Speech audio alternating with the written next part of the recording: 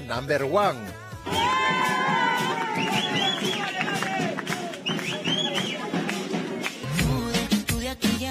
Pero a estos nuevos reyes de la melcocha ya los habíamos visto juntos, más pegados que chicle debajo de la mesa en un restaurante de Pachacamac, a pesar que ella lo recontranegaba hasta en fiscalía, aunque era imposible ocultar lo evidente.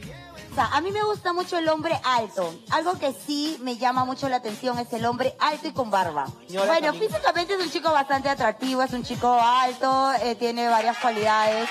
Me parece que es un, eh, bueno, es guapo, pues. Ah. Misma Chibola andaba ilusionada con su galán de pollada, pero en estas historias de amor, los terceros no sobran. Grace Keren apareció y con la lengua afilada, porque esta modelito se le fue con todo a Dorita. Yo sí creo que la señora Dora Orbegoso se metió en mi relación con Gerson Reyes. Pero la ex alma bella ni se sintió aludida Así es cuando el amor te vuelve ciego, Dorita.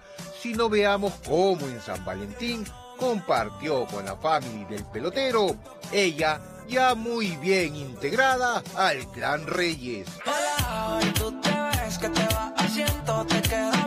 Pero ahí no quedó la cosa porque los dos se metieron a la jato del arquero a jugar monopolio hasta el día siguiente. Salieron juntos a las 8 de la mañana y Dorita que la hizo de percho lo despachó.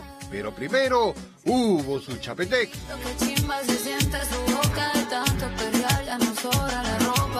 Ya no podían ocultar más su amor, así que empezaron con los mensajitos en redes Ambos se han vuelto recontramelosos, corazoncitos, caritas y toda esa chanfaina que los urracos no aguantamos.